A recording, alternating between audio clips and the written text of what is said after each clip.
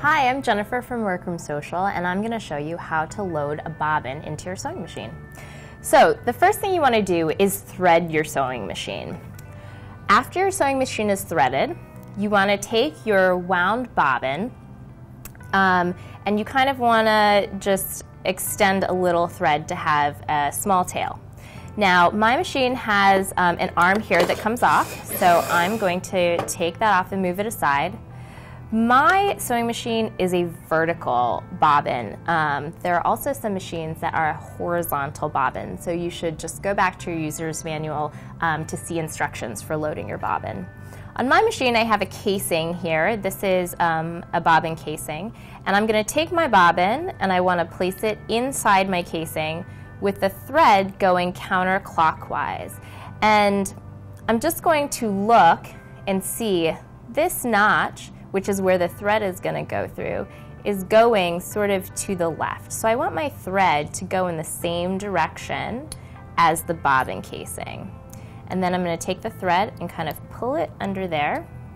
And now you can see when I pull the thread, the bobbin turns. So now, with the bobbin in the casing, you're going to go ahead and load it into your machine. You'll take this little lever and hold it out. That'll keep your bobbin from falling out of the casing because that's kind of annoying if it's rolling all around on the floor.